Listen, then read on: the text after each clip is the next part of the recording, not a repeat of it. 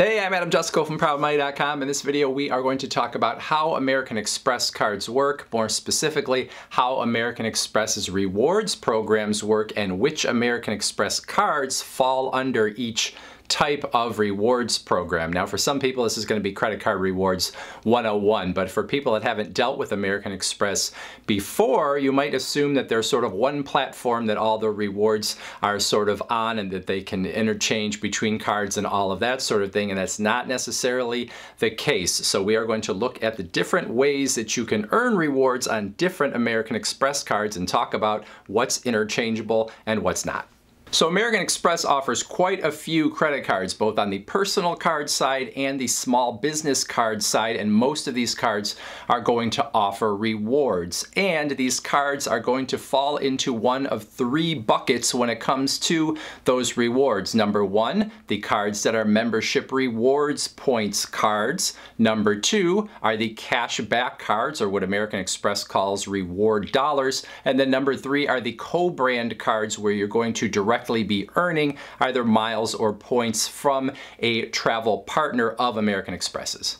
So let's start with membership rewards. American Express is probably best known for its membership rewards program. The cards that are going to offer you points in that membership rewards program are the American Express Platinum card, the American Express Gold card, the American Express Green card. You're going to have the Amex Everyday and the Amex Everyday Preferred. So those are the cards on the personal card or consumer side. And then on the small business side, you are going to have the business version of the Platinum card, the Business Gold card, the Business Green card, and then you're also going to have the Blue Business Plus card.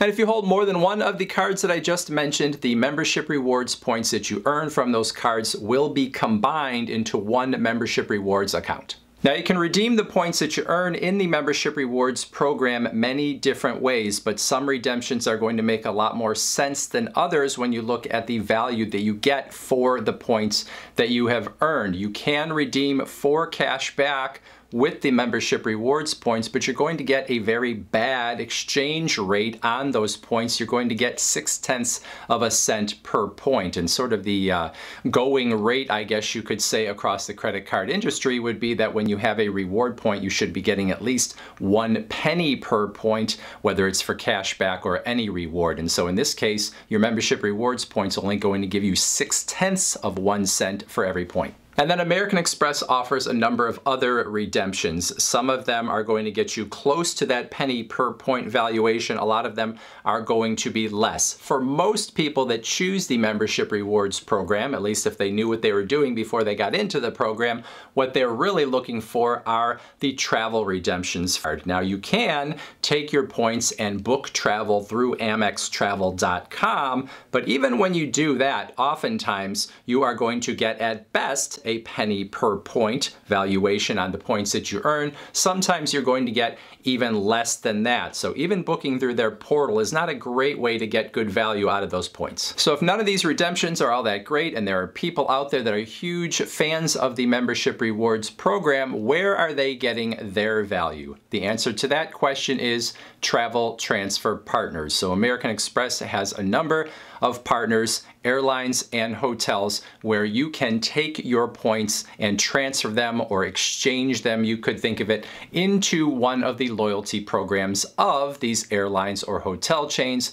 including Delta, Hilton, Marriott, and then there are a lot of international airlines as well. So the goal really if you want to maximize your value in American Express's points is to transfer them to one of these partners. Now transferring to one of these partners alone does not suddenly increase the value of those points or miles. But people that like to play the points and miles game see this as the first step toward finding the home run redemptions in the travel arena. So that means they are looking for the places where they can use a smaller number of miles or points and get something really big in return, something that would have cost an awful lot of money if you were to pay for it with cash. So oftentimes what that means is finding a flight where you can use points, especially on international travel, for a business class or first class seat where maybe you're spending 100,000 to 150,000 points to get maybe a first class or business class seat that cost $5,000 or even more if you were to pay for it with actual money. So these are sort of the home runs that people are looking for to get great value out of each individual point that they have transferred from American Express into one of these loyalty programs of a travel transfer partner. Now, finding those home run redemptions was easy. Everyone would be doing it. So you have to be someone that sort of enjoys the hunt. And then oftentimes you have to be someone that has some flexibility in your travel, both in the timing of your travel and possibly the destination of your travel. And then you still have to find the seats that are actually available as reward seats. And then you might have to go through one airline in order to get the seats on another airline because of the airline alliances. So you kind of have to have a lot going on there and sort of enjoy the hunt to go after these rewards. For some people, that's really fun. For some people, it feels like a lot of work for uncertain returns. So you have to think about who you are and whether you want to be going after those home runs or not. People will always uh, tell you online about sort of the, you know, the big fish story where they got some ridiculously great valuation out of their points, but that doesn't necessarily mean that when you go out there, you're going to find that valuation very easily. Now, obviously those do exist or people wouldn't continue to go after them. It just depends on what you want. So that is the membership rewards program. Now, American Express also has certain cards that are cash back only cards and they are not interchangeable with the membership rewards cards. You cannot take the cash back and turn it into membership rewards points. So if you get these cards, you're only going to get cash back all of what we just talked about is not going to be open to you with these cards. And if you end up with one card that is giving you membership rewards points and one card that is giving you cash back, those two are not going to work together in terms of combining your rewards. So the good thing about cashback cards is they're pretty easy to understand. You make a purchase and then you get a certain amount rebated back to you. The cashback cards from American Express are the Blue Cash Everyday, the Blue Cash Preferred, the American Express Cash Magnet, and then on the business side, you have the Blue Business Cash Card.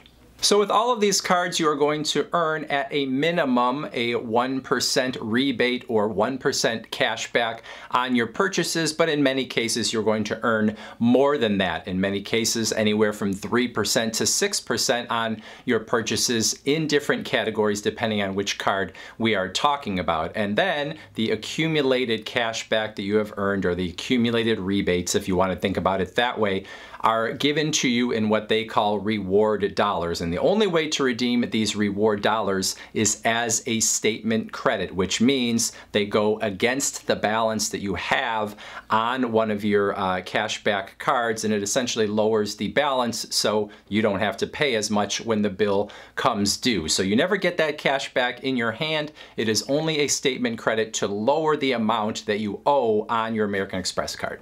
Now that's not nearly as exciting as hitting the home run and getting some ridiculous valuation on your points on a first class ticket on an international flight, but what you get from cashback cards is a guaranteed return and a whole heck of a lot more simplicity. You don't really have to think a whole lot about what you're going to do with those. All you really have to do is think about where you're going to get maybe more of a reward in terms of cashback in certain purchasing categories, whether it's groceries or gas or other categories like that. But once you have the rewards, there's only one way to use them. And even though that may be a little boring, it also is pretty easy. And then finally, the third category is co-brand cards where American Express is the issuer of the card, but what you are earning in terms of rewards is either miles or points within the uh, loyalty program of the partners. So, for example, you've got the Delta Sky Miles cards, both personal and small business cards. You've got the Hilton credit cards. You've got the Marriott cards that American Express issues. And then you also have uh, Amazon on the small business side. There are two credit cards. And then there is the uh, Lowe's Rewards American Express card. So, for example, when you have the Delta card, you're going to be earning Delta Sky miles and they're going to go into your Delta Sky miles account. They are not going to be American Express points in any way and you cannot transfer them into American Express's programs. Now with the membership rewards program, you could transfer into Delta, but you can't take your points from Delta and put them in the membership rewards program. And so that's how American Express rewards work. If you want membership rewards points, you want to make sure to get a membership rewards card or more than one card that is going to give you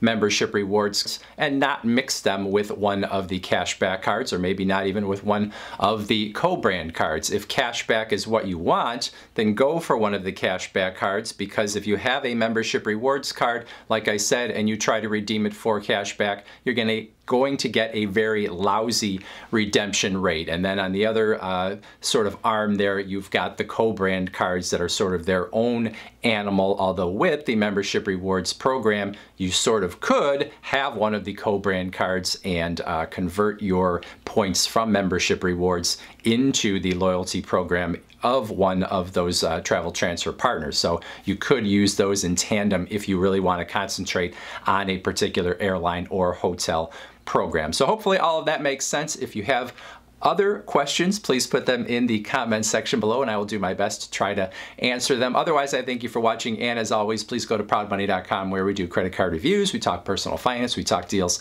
and all sorts of other fun stuff too. If you don't have a comment or you're not going to go to the website, the next video you're going to want to watch is right there.